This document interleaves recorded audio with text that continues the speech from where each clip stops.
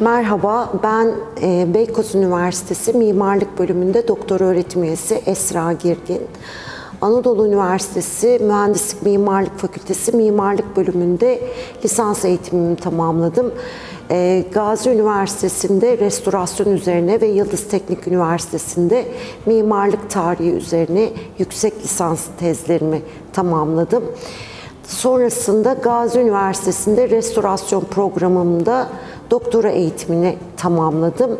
Ee, çalışma alanlarım kültürel miras, koruma, mimar tasarım ve benzeri konular üzerine.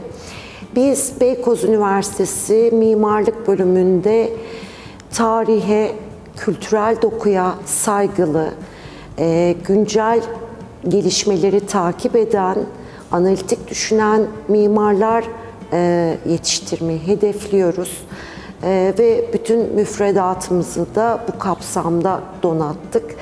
E, daha fazla bilgi almak için web sitemizi ziyaret edebilirsiniz ve bölümümüzde bizlerle iletişime geçebilirsiniz.